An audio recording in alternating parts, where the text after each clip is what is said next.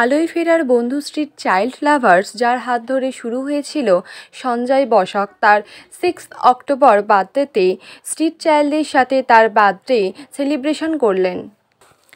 Ninth May online competition শুরু হয়েছিল। বিভিন্ন জায়গা থেকে ছেলেমেয়েরা কম্পিটিশানে পার্টিসিপেট করেছিল। তাদের আজ ট্রফি ও সার্টিফিকেট ও কিছু খাবার তুলে দেওয়া হলো। ভালো লাগছে আমি আমার নাম খুব ভালো লাগছে এখানে।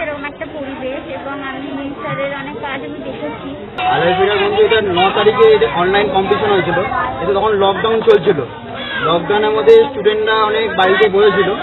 তারা আমরা